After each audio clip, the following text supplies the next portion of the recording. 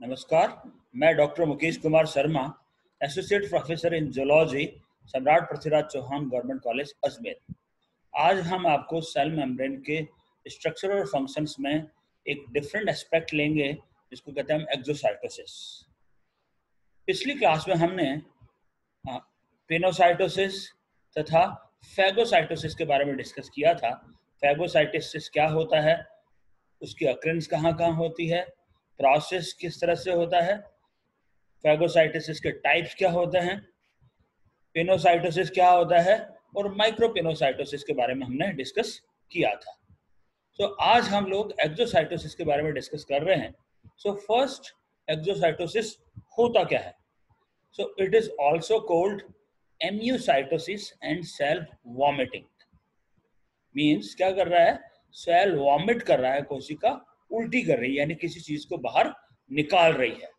In all eukaryotic cells secretory vesicles are continuously carrying new plasma membrane and cellular secretion such as proteins lipids carbohydrates for example cellulose from the Golgi apparatus to the plasma membrane और to cell exterior by the process of exocytosis अब होता क्या है इस process को यदि हम देखें तो बेसिकली जो कोशिका है, उसमें क्या हो रहा है? यहाँ पे आप ये देखिए रफ एंडोप्लाज्मिक रेटिकुलम है। रफ एंडोप्लाज्मिक रेटिकुलम से कोई मैक्रोमोलिक्यूल्स बनता है, बन करके और कॉल्जी कॉम्प्लेक्स में आता है। कॉल्जी कॉम्प्लेक्स में आया। गॉल्जी कॉम्प्लेक्स से कुछ वेजिकल्स निकली और वो सिक्रेटरी वेजिकल्स बनी। और सिक्रेटरी वेजिकल से ये सिक्रेटरी वेजिकल जा करके और इस प्लाज्मा मेम्ब्रेन के साथ में फ्यूज अप हो गई और उसने क्या किया? जो प्रोटीन जो बनाया था यहाँ पर रफ एंडोप्लाज्मिक रेटिकुलम से जो प्रोटीन बना था, वो बाहर की तरफ़ निकल गया। ठीक है? तो अब हो क्या रहा है बेसिकली इसमें क्या हो रहा है? नई प्लाज्मा मेम्ब्रेन भी आ रही है। कहाँ से आ रही है आपके? रफ एंडोप्लाज्मिक रेटिकुलम से होती हुई गोल्जी कॉम्प्लेक्स से आकर के फिर वैक्यूल्स बना या सिक्रेटरी वेजिकल्स बना और फिर आकर के बन गए और साथ साथ में कुछ सिक्रेशंस भी आ रहे हैं। ठीक है? सो so, इस जो प्रोसेस को हमने कहा एक्सोसाइटोसिस यानी ये जो प्लाज्मा मेम्ब्रेन और सेलुलर सिक्रेशन से जिसमें कि हम प्रोटीन्स भी कहते हैं लिपिड्स भी कहते हैं कार्बोहाइड्रेट्स भी कहते हैं ये गॉल्जी ऑपरेटस से आए और प्लाज्मा मेम्ब्रेन के पास में आकर के और सेल के बाहर की तरफ़ निकल गए। So, the proteins to be secreted are synthesized on the rough endoplasmic reticulum. ये प्रोटीन कहाँ सिंथेसाइज हो रहे हैं? रफ एंडोप्लाज्मिक रेटिकुलम पर सिंथेसाइज हो रहे हैं। They pass into the lumen of the ER वो क्या हुआ? ईआर के ल्यूमन में आ गए एंडोप्लाज्मिक रेटिकुलम की ल्यूमन में आ गए। फिर वहाँ पे ग्लाइकोसाइडेटेड हुए and are transported to the the Golgi apparatus by ER derived transport vesicles. So क्या हुआ? ये गोल्जी ऑपरेटस पे ट्रांसपोर्ट हो गए। किससे? ट्रांसपोर्टेड वेजिकल जो किससे ड्राइव्ड है? ई से एंडोप्लाज्मिक रेटिकुलम से डराइव्ड है। In the Golgi apparatus the proteins are modified concentrated and further glycosylated sorted and finally package into vesicles that consist of from trans Golgi tubules and migrate to the plasma membrane to fuse it with it and release the secretion to cell exterior अब ये Golgi apparatus में क्या हुआ? ये proteins और modified हुए। इनकी ये सांद्रित हुए।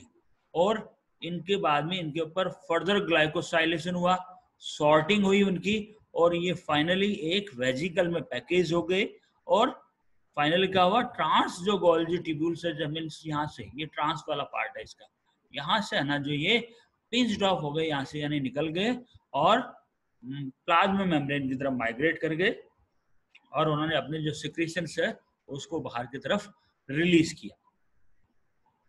इन कॉन्ट्रास्ट ये तो बड़े जो मॉलिक्यूल्स थे, उनके बारे में। In contrast small molecules to be secreted जैसे कि for example histamine by the mast cells अब मास सेल्स में क्या होता है? हिस्टामिन पाया जाता है। ये कहाँ पाया जाता है? हिस्टामिन की जो छोटे छोटे ग्रेन्यूल्स होते हैं, या अपन कहते वैक्यूल्स होते हैं, उनमें ये स्टामिन पाया जाता है।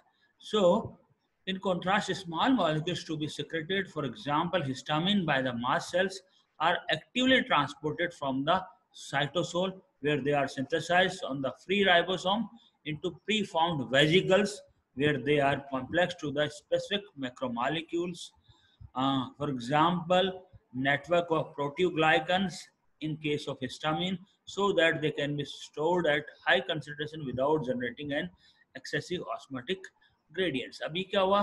राइबोसोम से सिंथेसाइज हुआ हिस्टामिन और प्री फॉर्म्ड वेजिकल में जो पैक हो गया वो, और यहाँ पे इन्होंने कॉम्प्लेक्स बनाया किसके साथ में? एक स्पेसिफिक मैक्रोमोलिक्यूल्स के साथ में कॉम्प्लेक्स बनाया, जैसे कि फॉर एग्जांपल प्रोटियोग्लाइकन्स और और फिर बाद में क्या हुआ? इसमें स्टोर है और बाद में ये सिक्रेटेड आउट हो गए कब हुए during exocytosis the vesicle membrane incorporated into the plasma membrane the amount of secretory vesicle membrane that is temporarily added to the plasma membrane can be enormous in a pancreatic acinar cell discharging digestive enzymes about 900 micrometer. Two of vesicle membrane is inserted into the apical plasma membrane whose area is only 30 micrometer when the cell is stimulated to secrete. Means क्या हुआ कि exocytosis में क्या हो रहा है vesicle जो membrane होती है वो किसके साथ फ्यूजअप हो रही है प्लाज्मा मेम्ब्रेन के साथ फ्यूजअप हो रही है और जो ये प्लाज्मा मेम्ब्रेन के साथ फ्यूजअप होकर क्या हो रही है जो सिक्रेटरी जो वेजिकल मेम्ब्रेन है वो टेम्पररी ऐड कहाँ हो रही है? प्लाज्मा मेम्ब्रेन पर। इनके क्या होगा? इनकी साइज़ जो होगी वो डिफरेंट डिफरेंट साइज़ इनकी होती है। सो so, इस प्रकार से एक्सोसाइटोसिस में हमने क्या देखा कि जो भी प्रोटीन है वो रफ एंडोप्लाज्मिक रेटिकुलम पर स्थित जो राइबोसोम्स है उसके द्वारा बनती है। फिर गॉल्जी कॉम्प्लेक्स में आगे आती है। इसके ट्रांस जो गॉल्जी जो अपरेटस है उससे ये वेजिकल्स फॉर्म्ड होकर के सिक्रेटरी वेजिकल्स बनते हैं और लास्ट में जाकर के ये क्या करती है? प्लाज्मा मेम्ब्रेन के साथ में फ्यूजअप हो जाती है और अपना जो भी प्रोटीन्स होता है या जो भी मैक्रोमोलिक्यूल्स होते हैं या सिक्रेटरी जो पार्ट होता है उसको बाहर सिक्रेट आउट कर देती है।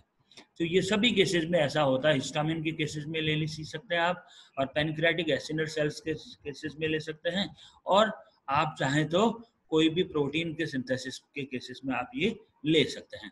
तो इस प्रकार से एक्जोसाइटोसिस की प्रक्रिया पूरी होती है कोशिका में। अब अगला इंपॉर्टेंट पार्ट है डिफ्रेंसिएशन ऑफ़ सेल मेम्ब्रेन यानी क्या हो रहा है? सेल मेम्ब्रेन के ऊपर कुछ इस प्रकार के मॉडिफिकेशन होते हैं, जिससे क्या करती है वो एब्जॉर्प्शन सिक्रीशन और ट्रांसपोर्टेशन की प्रक्रिया करती है या अपन कह दें सेल सेल आपस में कम्युनिकेट करती है। ठीक है? So surface of certain cells is responsible for various physiological activities such as absorption, secretion and transportation. To perform such specialized functions, certain modifications are inevitable in the plasma membrane of such cells.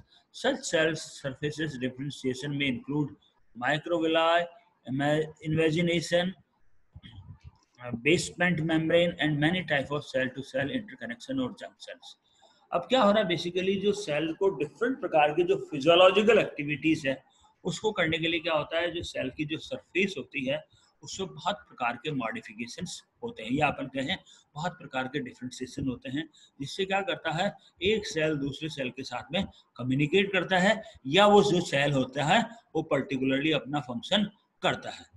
अब ये junction कौन कौन से होते हैं? जैसे मैंने बताया आपको, ये क्या होता है? माइक्रोविलाई हो सकता है इन्वेजिनेशन हो सकता है बेसमेंट मेम्ब्रेन हो सकता है बहुत प्रकार के सेल टू सेल इंटरकनेक्शन भी हो सकता है। इनमें क्या होता है? इम्परबिएबल जंक्शन होते हैं, जिनमें कि टाइट जंक्शन है और सेपरेट जंक्शन है। एडरिंग जंक्शन हो सकते हैं, जिनमें बेल डेस्मोसोम्स है स्पॉट डेस्मोसोम्स है एंड हेमी डेस्मोसोम्स है। और कम्युनिकेटर जंक्शन कम्युनिकेटिंग जंक्शंस भी हो सकते हैं जिनमें गैप जंक्शंस है और केमिकल सिनेप्सिस है।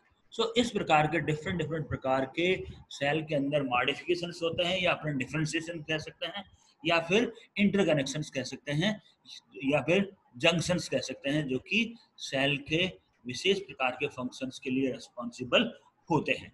आज हम लोग सिर्फ़ अच्छा हाँ एक चीज़। कि आज हम लोग सिर्फ़ माइक्रोविलाई के बारे में पढ़ेंगे, लेकिन इससे पहले मैं आपको बताऊँ कि जैसे सेल के अंदर ये डिफरेंट डिफरेंट प्रकार के जंक्शंस हैं।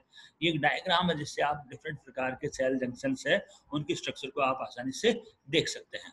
सो देखिए आप माइक्रोविलाई है टाइट जंक्शन है एडहेरेंट जंक्शन है गैप जंक्शन है यहाँ पे, देखिए आप।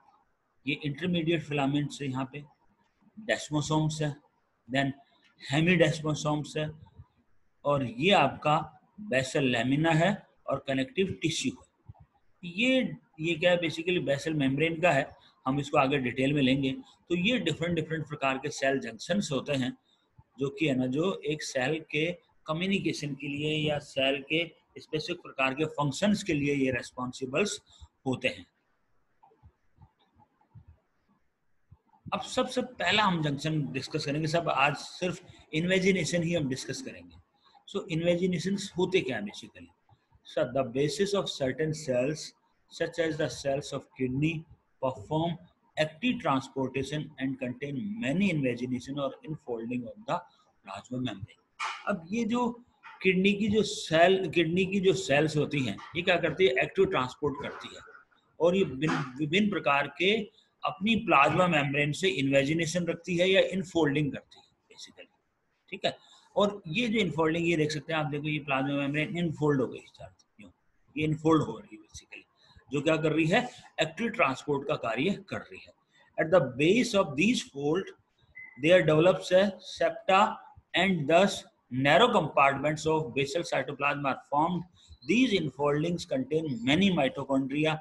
These mitochondria, along with the enzymes of plasma membrane, possibly provides energy-rich compounds ATP to the plasma membrane for the active transportation of the solids. वो क्या रहा बेसिकली ये फोल्डिंग बन गए। इन फोल्डिंग में क्या है? बहुत सारे माइटोकॉन्ड्रिया उपस्थित होते हैं। यहाँ पे देखिए माइटोकॉन्ड्रिया है। ये माइटोकॉन्ड्रिया क्या करते हैं बेसिकली ये एटीपी प्रोवाइड करते हैं। जिससे क्या होता है?